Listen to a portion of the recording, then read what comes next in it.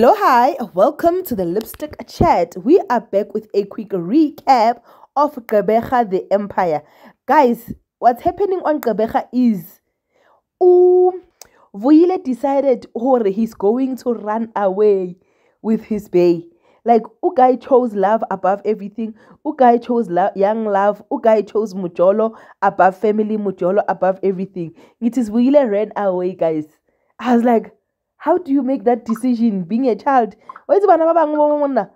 So but nonetheless AWOL uh, they're going where are they going to stay? With what money? Because they're both unemployed.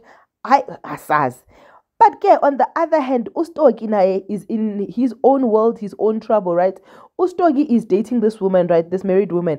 And i told you before we see this relationship won't end well. And already is not ending well because Honabanung stogi realized that that guy eh, that lady is a married woman. And now the husband is becoming a liability because like the woman is complaining bringing up stuff as if like hey she's living the worst life and and and and ustogi is in love.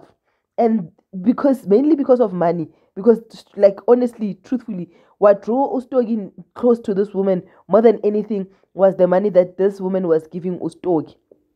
So now we are in that predicament where ustogi needs to deal with the husband and make sure that the husband vanishes for good. Will Ustogi take the bait?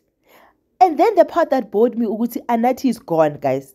Unfortunately, Anati is no more. We can safely say rest in peace to Anati.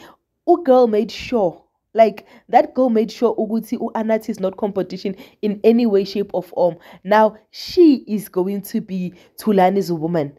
And Utulan is not even going to know and understand Uguti who took the love of his life away. I, I just pray that before Thulani even gets married to this woman, the truth comes out. That that's my only prayer. But nonetheless, rest in peace, Anati. Let's see where Gqeberha goes from here.